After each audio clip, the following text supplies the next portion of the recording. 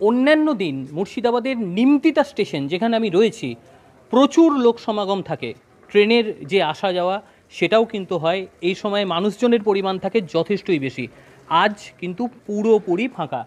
শুধুমাত্র পুলিশ, প্রশাসন এবং সঙ্গে প্রেস। টিকিট কাউন্টার একেবারে সম্পূর্ণরূপে ফাঁকা রয়েছে, যেখানে অন্যান্য দিন মানুষজনের যাতায়াত থাকে যথেষ্টই বেশি। এবং টিকিট কাউন্টারের আশেপাশে, নিচের অংশগুলো আমি সুমন্তকে বলব দেখানোর জন্য, যে প্রচুর কিন্তু রক্তের দাগ। অর্থাৎ গতকাল রাত্রিরের সেই ভয়াবহ বিস্ফোরণ, তারপরে কিন্তু যারা আহত হয়েছিলেন তাদেরকে কিন্তু এই পথেই নিয়ে যাওয়া হয়েছে। তার যে দাগ, সেটাও কিন্তু স্পষ্টভাবে পরিলক্ষিত হচ্ছে। সামনের দিকে আমি সুমন্তকে একটুখানি দেখাতে বলব। অন্যান্য সময় এখানে কিন্তু প্রচুর গাড়ি থাকে, ভর্তি গাড়ি থাকে, দোকানপাট, সমস্ত কিছু খোলা থাকে। এখন কিন্তু পুরো এলাকাটা একেবারে একটা বন্ধের চেহারা নিয়েছে, এই কথাই বলা যায়। দুই একটা দোকান অবশ্যই খোলা রয়েছে এবং সামনে যে গাড়িগুলো রয়েছে, সেগুলো সবই পুলিশ, প্রশাসন কিংবা প্রেসের গাড়ি। বাদবাকি পুরো যে অংশ, এই পুরো অংশটা একেবারে বন্ধের চেহারা নিয়েছে, মানুষজন আসছে না। কারণ গতকালের এই বিস্ফোরণের পর কিন্তু এই লাইনে, অর্থাৎ আজিমগঞ্জ থেকে ফারাক্কা পর্যন্ত যে রেল লাইন, সেই রেল লাইন সম্পূর্ণ ট্রেন চলাচল বন্ধ করে দেওয়া হয়েছে তদন্তের স্বার্থে। বিস্ফোরণের পর পর যে সমস্ত ট্রেনগুলো ছিল, সেইগুলোর রুট পরিবর্তন করে দেওয়া হয়েছে। সেগুলি আজিমগঞ্জ থেকে নলহাটি হয়ে তারপরেই কিন্তু তাদের গন্তব্যস্থলে সেগুলোকে তারা পাঠিয়ে দিচ্ছে। এবং যে কারণে মানুষজন আজ এখান দিয়ে অন্তত যাতায়াত করতে পারছে না। সকাল থেকেই পুলিশ, প্রশাসন সিআইডির টিম জিআরপি আরপিএফ তারা কিন্তু এখানে এসেছেন এবং তারপরই তাদের নিজস্ব যে তদন্তভার সেই তদন্তভার কিন্তু তারা নিজেদের হাতে নিয়েছেন। আপনারা দেখতে পাচ্ছেন পুরো এলাকাটা কিন্তু ঘিরে রাখা হয়েছে যাতে সাধারণ মানুষ সেখানে না প্রবেশ করতে পারে। সেই জন্যেই এই ব্যবস্থা গ্রহণ করা হয়েছে। কী ধরনের বিস্ফোরণ ছিল, কীভাবে বিস্ফোরণ সেখানে ঘটলো, সমস্তটাই কিন্তু তারা তদন্ত ইতিমধ্যেই শুরু করে দিয়েছে।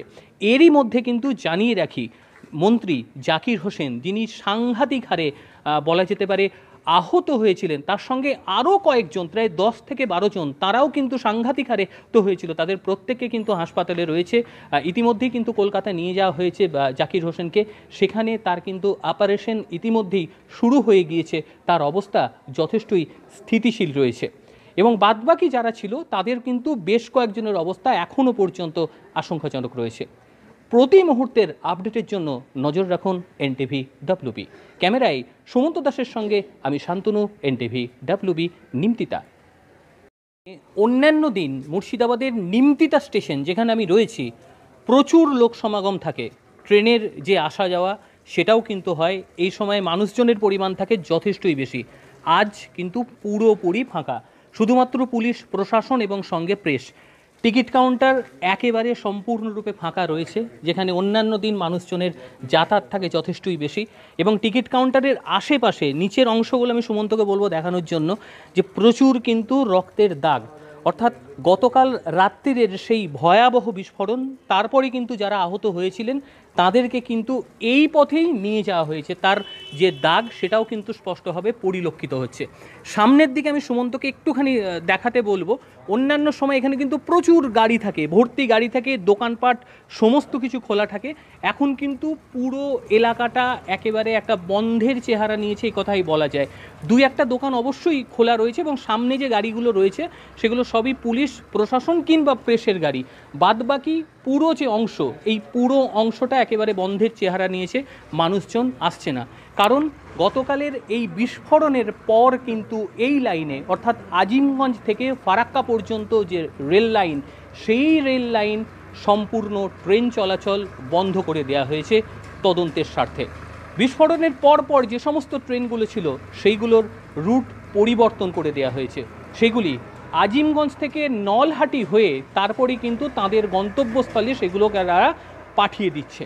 এবং যে কারণে মানুষজন আজ এখান দিয়ে অন্তত যাতায়াত করতে পারছে না। সকাল থেকেই পুলিশ, প্রশাসন সিআইডির টিম, জিআরপি আরপিএফ, তারা কিন্তু এখানে এসেছেন এবং তারপরই তাদের নিজস্ব যে তদন্তভার সেই তদন্তভার কিন্তু তারা নিজেদের হাতে নিয়েছেন। আপনারা দেখতে পাচ্ছেন পুরো এলাকাটা কিন্তু ঘিরে রাখা হয়েছে যাতে সাধারণ মানুষ সেখানে না প্রবেশ করতে পারে। সেই জন্যেই এই ব্যবস্থা গ্রহণ করা হয়েছে। কী ধরনের বিস্ফোরণ ছিল, কীভাবে বিস্ফোরণ সেখানে ঘটলো, সমস্তটাই কিন্তু তারা তদন্ত ইতিমধ্যেই শুরু করে দিয়েছে। এরই মধ্যে কিন্তু জানিয়ে রাখি মন্ত্রী জাকির হোসেন, যিনি সাংঘাতিক হারে বলা যেতে পারে আহত হয়েছিলেন, তার সঙ্গে আরও কয়েকজন, প্রায় দশ থেকে বারো জন, তারাও কিন্তু সাংঘাতিক হারে তো হয়েছিল। তাদের প্রত্যেকে কিন্তু হাসপাতালে রয়েছে। ইতিমধ্যেই কিন্তু কলকাতা নিয়ে যাওয়া হয়েছে জাকির হোসেনকে। সেখানে তার কিন্তু অপারেশন ইতিমধ্যেই শুরু হয়ে গিয়েছে। তার অবস্থা যথেষ্টই স্থিতিশীল রয়েছে। এবং বাদবাকি যারা ছিল, তাদের কিন্তু বেশ কয়েকজনের অবস্থা এখনও পর্যন্ত আশঙ্কাজনক রয়েছে। প্রতি মুহূর্তের আপডেটের জন্য নজর রাখুন এনটিভি ডাব্লুবি ক্যামেরায় সুমন্ত দাসের সঙ্গে আমি শান্তনু, এনটিভি ডাব্লুবি নিমতিতা।